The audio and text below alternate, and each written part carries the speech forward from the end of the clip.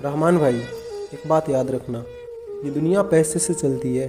तुम्हारे और हमारे दर्द भरी फीलिंग से नहीं। विश्वास नहीं है तो देख लो। आज तुम्हारे पास डिग्री तो है। इंटरव्यू में सिलेक्ट भी हुए, फिर भी जॉब नहीं मिली। Do you know why it's just because of money so अगर जीना चाहते हो तो पैसे कमाओ। ऐसे हो या फिर वैसे। तभी तो इज़्ज़त मिलेगी।